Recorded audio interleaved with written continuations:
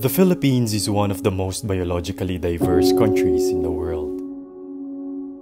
However, from 21 million hectares of forest lands in 1900, the country has significantly lost its tropical forest to around 7 million hectares as of the moment.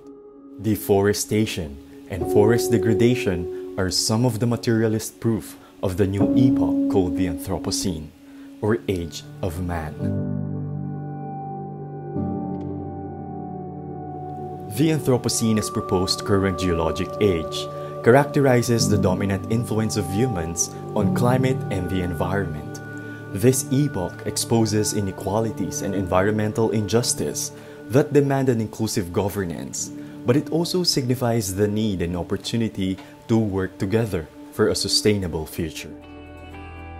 Through this compendium of case studies from Forest Foundation Philippines and its partners' experience in implementing forest conservation projects, we aim to examine local accounts of humans' dynamics with the forest and the environment.